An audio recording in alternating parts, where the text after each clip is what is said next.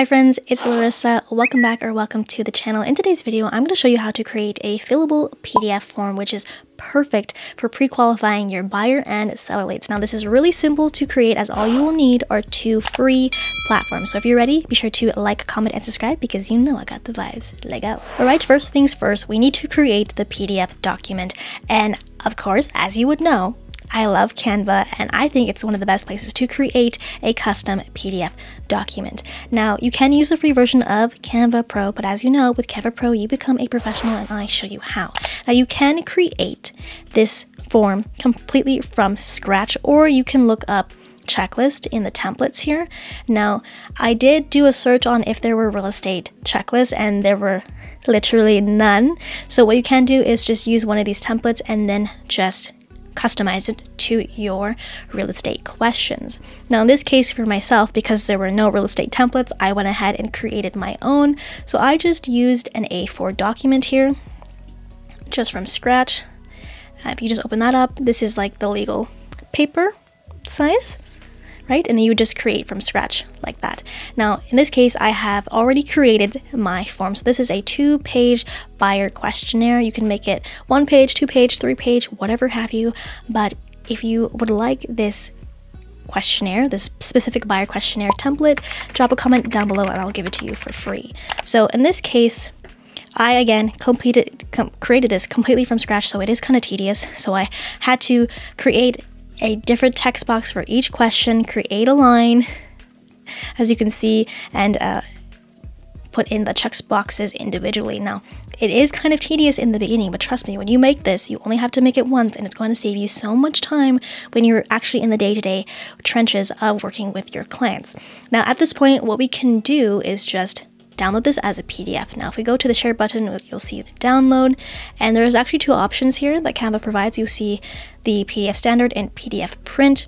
Now, because we're just going to be emailing this out to our clients, PDF is just sufficient.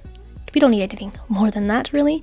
So in this case, I'm just going to download the first page of this template. Now, the next step we have to do is go to docfly.com.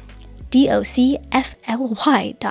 Now this allows you to, again, it's free. It allows you to create three free PDF fillable documents a month. So if you want to upgrade, do as you please.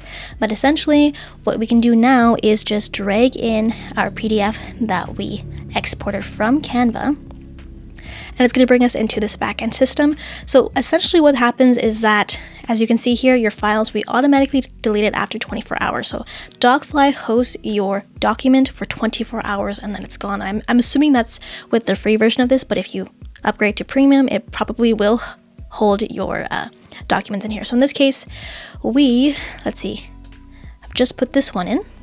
So we want to click on that.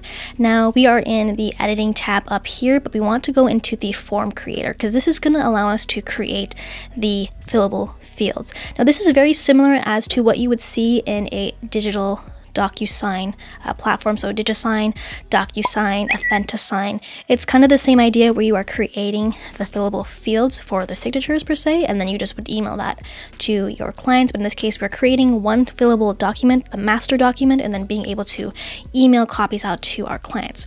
Now, in this case, we have different options depending on what you have in your questionnaire or your checklist.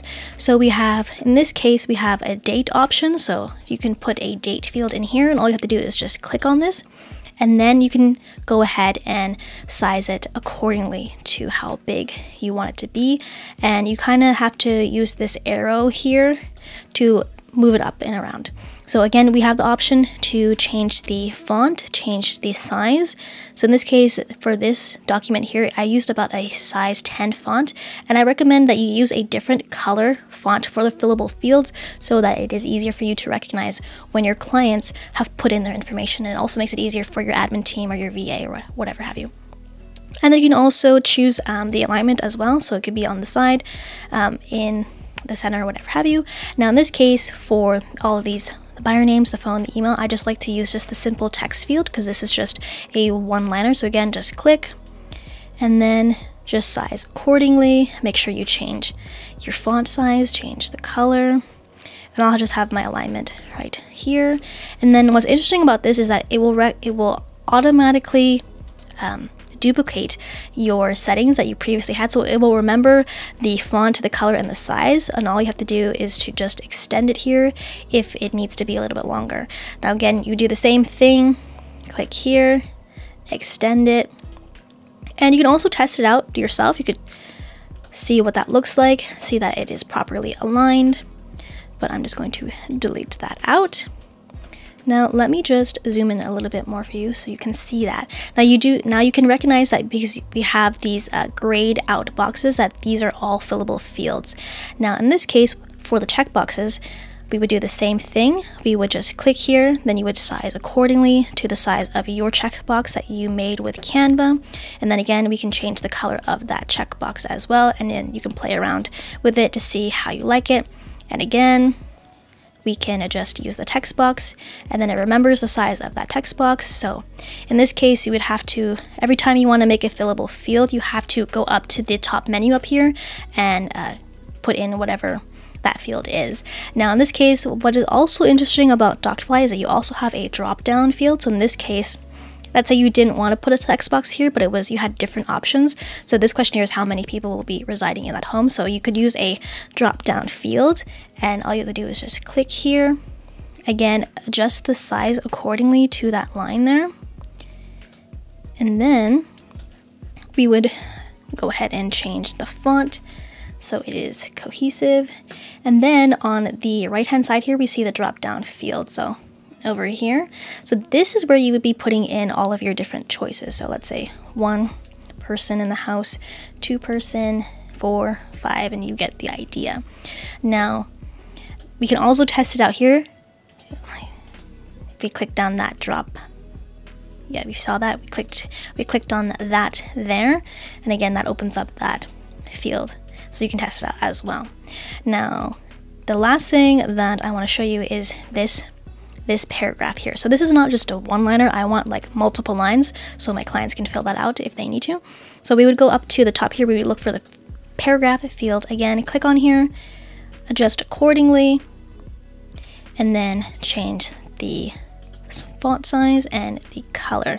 Now at this point, after you have gone through all of this and have created all your fillable fields, so again, they will be that grayed out blue color, so you know that it is a fillable field. All you have to do now is just go up to the green save button, and this is gonna allow you to export this document with the fillable fields. So you just go click the export and you would just download this, or you could even export this to Google Drive. Now I'm gonna open up my other one that I did previously so you can see all the fillable fields. All right, so here is my completed document fully filled out. Now it looks like a regular document, um, so there you won't see the gray fields like that, only if you hover over them. So let me just kind of zoom in for you guys so you can see this properly.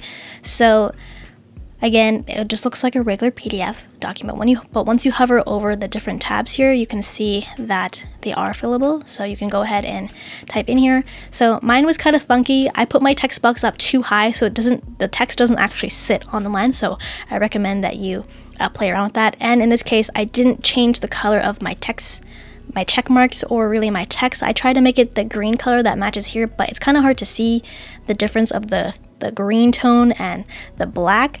And in this case, um, I would just go through and check all of this. So I would just send this out to your assistant or uh, one of your you know a spouse or a friend to just go through this so they can actually fill this out themselves and let you know if there are any uh, typos or mistakes or any of the fields are not working and again here's this drop down menu I don't know why it's super small here on on my system so I use Apple I use Mac so this is just the the, the native preview tab that opens up PDFs in the Apple devices. So again, you can change this out, play around with here, click that, and yeah, start typing here, and just do hit enter, hit enter, and you can make it a multiple paragraph kind of thing here. And just like that, you've streamlined your entire follow-up process to qualify both your seller and your buyer leads to make sure you have documented all of the most pertinent information about your client and the transaction to make sure that both you and your client are on the same page and make you that real estate agent. But if you are in need of more leads, then check out this video right over here where I show you how to create a buyer's funnel using Canva website. So if you're ready, three, two, one,